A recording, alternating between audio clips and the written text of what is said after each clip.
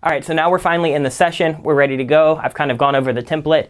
So let's talk about the initial ideas for Redrum and kind of where I was at finding the chord progression and, you know, just kind of figuring out what I wanted to do with the track. So the track basically came as I just had an off day. I wasn't producing for clients. I didn't have any work on my schedule. I just kind of wanted to write a fun song where I could, you know, flex a little bit, uh, clap back at some haters, you know, the usual things for a trappy hip hop song. Um, so my, my background is in hip hop and in pop, so I kind of wanted to fuse those together and use some pop melodies and some pop ideas, and then use like the aggressiveness and just the in your face style of hip hop. So going into this, I knew that I wanted to do a hip hop track. I knew I wanted it to be dark. I knew I wanted it to be uh, just kind of angry sounding. So I really just needed to find a chord progression that fit that. So let's go ahead and hop into my DAW.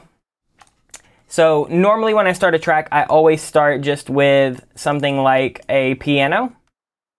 So I'll normally just use the piano from Arturia.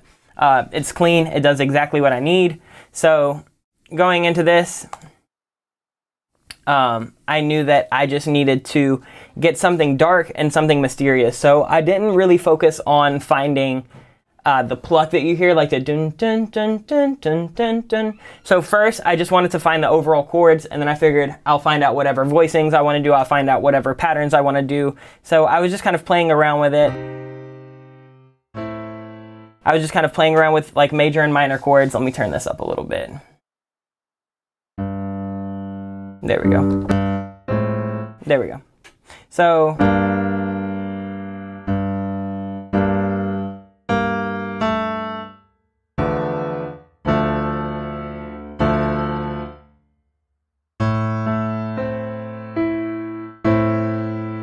Like this, something I, I think I started with something like this actually, and it just sounded a little a little too sad for me. I didn't want anything sad. I wanted something aggressive. So then I started kind of playing around with. That's still a little sad. So that right there added a little bit of mystery to me. And then once I did that, that's where I really found out that I was like, maybe I'll start with, instead of doing like really suspended sustained chords, maybe I'll start with just like a little melody. So I just kind of played around with.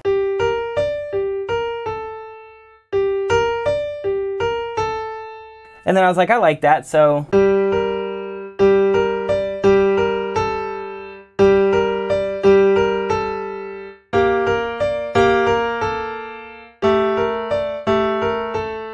Then I was like, I don't know, it's missing a little something. I don't really love uh, the chord progression. Like it's just a little stale to me. It, I don't know, it doesn't really have like the aggressiveness. It's still kind of just like a little too mellow for me.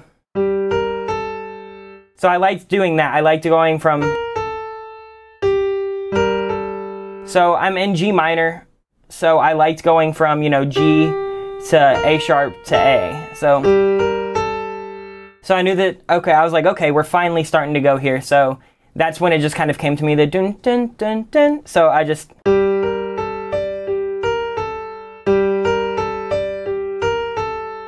And then I was like, okay, so where do I want to go on this root note now? So I've gone through two passes of this little melody.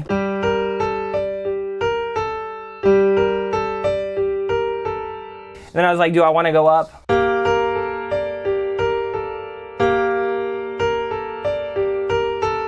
And then I was like, I just had to kind of figure out how fast do I want to pace this song. So do I want it to be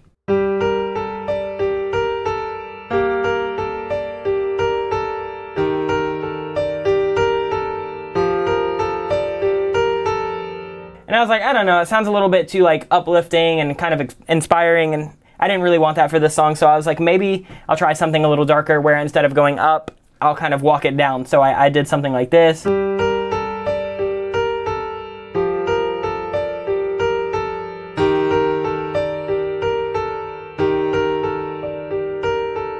And then I was like, eh, that's a little sad and somber. And then that's when it clicked to me. Let's do slower phrases. Let's repeat. Let's repeat that little right hand melody twice on the uh, driving bass note, and then we'll kind of switch. So then I got the.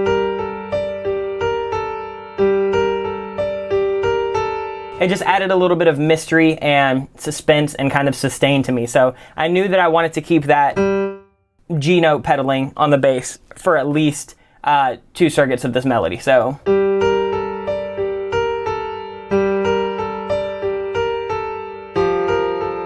And then I was like, no, I don't really want to go to that F. Um, it's just a little sad. It kind of like, I don't know, slows it down for me. I wanted something that, that would bump and that I could like layer some kicks and 808s onto. So then I started playing around and I was like, let me go down, let me go down to this uh, D sharp down here. So let's try that.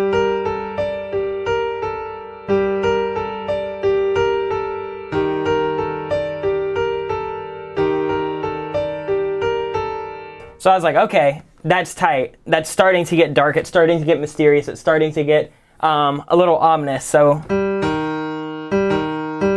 me, that has a lot more vibe than, you know, I don't want it to. I'm not trying to play Old MacDonald Had a Farm or anything. So I just wanted to really, I, I loved my right hand melody. So it was just finding the root notes that were going to go under the left hand. So I just, I knew it was going to be.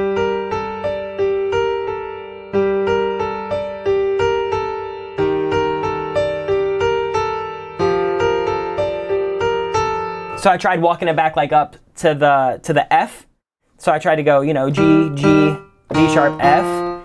And bringing it back up to the F kind of brought back that uplifting and inspiring vibe that I didn't really want. Because like I said, I was trying to like clap back on people, flex on people. I wanted to keep it really, really dark, really mysterious. I wanted the sound design to be super dark. I already had the vibe in my head. So I just knew that that melody's fine. I just had to figure out this bottom bass melody. So that's when I finally was like, okay, well, let me go to the D after the D sharp. So that's when I got this.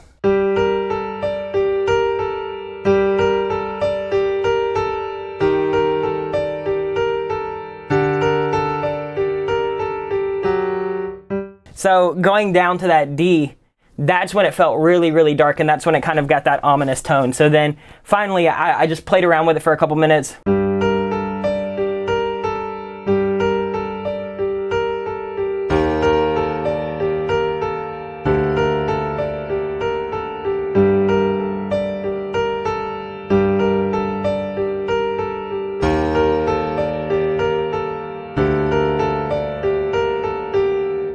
So it kind of had like this really dark, almost like Halloween type vibe. Like I definitely felt like it could be in like a horror movie. It also it kind of reminded me of like the Halloween uh, Michael Myers theme song. Just it was super dissonant. It had all of these like really really you know we were going from the the A sharp to the A. So you know one dissonant note there. We were going from the D sharp to the D. So between and we just had plenty to work with. It was plenty dark enough. I knew exactly what I wanted to do. Um, if you can't tell already, I don't know any theory, so I'm going to be breaking this down in like single notes. So if you know theory, perfect. You can probably put the name to the notes and the chords a lot faster than I can. But for any of you that don't know theory, I'm right there with you. So I, you know, I just heard it in my head kind of and did some trial and error, and that's where I got the idea to do that little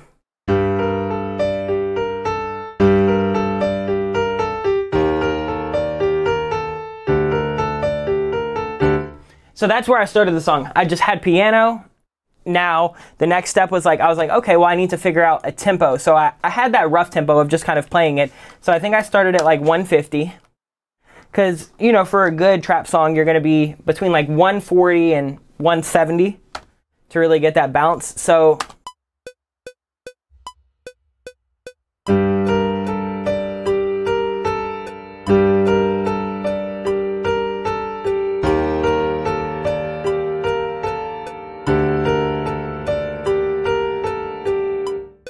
and to me, it just felt that just felt a little slow to me, um, especially since we were kind of pedaling on this G note for you know two progressions, um, and then going down to the D sharp and then down to the D. It it was just not moving fast enough for me. I was trying to like picture some drums over it, so you know I would just kind of beatbox.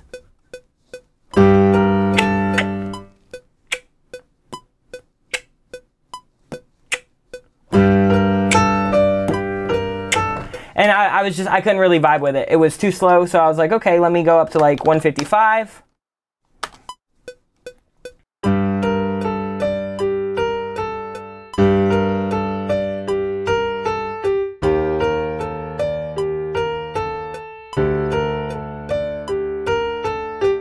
And I was like, okay, we're getting a little better. Let me try 160 and just see if we are too fast now.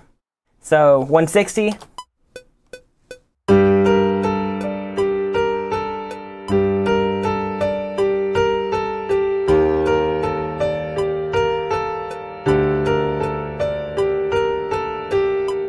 And 160 was kind of like the green light. It kind of lit a bulb in my head, and I was like, okay, that's perfect. So um, I know that we're going to be in what is this G minor, and it's just going to go from G to G to D sharp to D on the bass notes, and then we're just keeping that top uh, right hand consistency.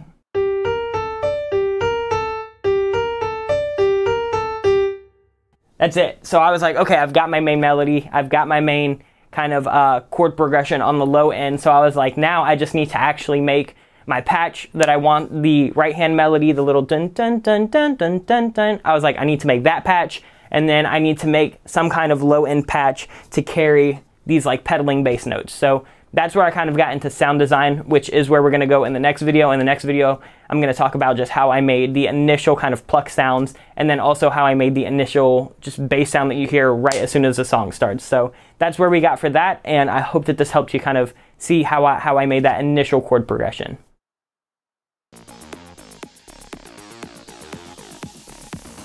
Thanks everybody for watching, commenting, and indeed liking. We really do appreciate all the support we get here on our Sonic Academy YouTube channel. So if you found this video super useful, please, we'd love you to hit the subscribe button. We update the uh, YouTube channel every week with new content. And if you want to watch some more relevant content, just click on the videos beside me.